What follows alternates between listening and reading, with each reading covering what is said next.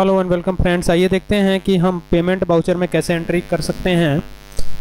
Tally में तो सबसे पहले टैली को ओपन कर लेता हूँ मैं। तो क्लिक करेंगे तो ये टैली ओपन हो जाएगा। और अब हमें पेमेंट बाउचर में, पेमेंट बाउचर में कौन कौन सी एंट्रीज करी जाती हैं, ये हमें समझना है। देखिए, पेमेंट बाउचर में हम पेमेंट करने का काम करते हैं। सपोज़ कीजिए, हमें बिजली का बिल पेमेंट करना है, या कोई भी खर्चा हमारा जो है, वो सब आता है पेमेंट बाउचर में। तो पेमेंट बाउचर में हम वही काम करेंगे। खर्चे के लिए पेमेंट देंगे हम। इसके अलावा बैंक वगैरह में जो चार्जेस लग, ठीक है, या फिर बैंक जो है एसएमएस का चार्ज लेती है। आप एसएमएस सुना होगा आपने एसएमएस जो आता है हमारे मोबाइल पर, जब हम पैसा निकालते हैं विड्रॉ करते हैं या डिपॉजिट करते हैं तो जो एसएमएस आता है तो उसका चार्ज लेती है बैंक ठीक है। तो जो भी चार्ज लेती है तो वो चार्जेस वगैरह पेमेंट बाउचर में आएँगे। उनकी एंट्री हमें पेमेंट बाउचर में बनानी है। इसके अलावा जो बिजली का बिल भुगतान करेंगे या किसी भी प्रकार का पेमेंट हम करेंगे, ठीक है? सेकेंड पार्टी को, ठीक है? उसके एवज में हम जो एंट्री करेंगे वो सब पेमेंट बाउचर में होगी। तो चलिए आइए, आगे हम देखते हैं। आते हैं अकाउंटिंग बाउचर में और यहाँ से वी प्रेस कर लेते हैं। तो अभी हम पेमेंट बाउचर में हैं, ठीक है? यहाँ पे डेबिट आ रहा है और इसको हम अंडर फिक्स्ड एसेट डालेंगे क्योंकि फर्नीचर अकाउंट फिक्स्ड एसेट्स होता है। इंटर करके नीचे आएँगे, यहाँ पे एंटर करते हुए आ जाएँगे। पिन कोड वगैरह जो भी डालना है, डाल देंगे, यहाँ पे एक्सेप्ट करा लेंगे इसको।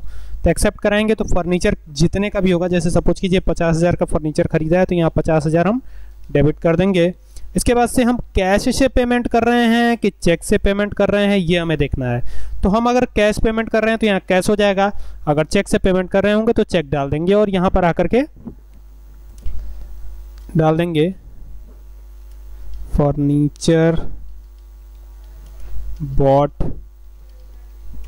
for business worth rupees fifty thousand तो ये डाल दिया हमने। इस तरह से करके हम ये एंट्री बना सकते हैं पेमेंट वाउचर की और यहाँ एक्सेप्ट करा लेंगे इसको।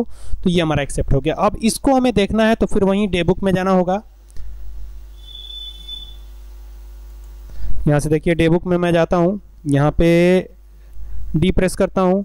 फिर एक बार डी प्रेस करेंगे तो यहाँ डे बुक में आ गए हैं। अब देखिए सबसे ऊपर वाला फर्नीचर अकाउंट जो है, ये हमारा एंट्री वाला है। तो यहाँ पे क्लिक कीजिए और अगर प्रिंट कराना चाहते हैं ऑल्ट के साथ पी दबाइए तो ये प्रिंट हो जाएगा और प्रिंट होकर कुछ इस तरह से आएगा। ये प्रिंट हो रहा है अभी। ये देखिए, ये कुछ इस तरह का रिपोर्ट आएगा आपके पास तो तो ये देख सकते हैं आप कि कैसे ये हम कर सकते हैं। उम्मीद है कि ये छोटे से वीडियो से आपको पेमेंट बाउचर की एंट्री कम से कम शुरुआत कैसे करनी है, ये बात ज़रूर समझ में आ जाएगी। अगर वीडियो अच्छी लगे तो शेयर कीजिए। Thank you for watching this video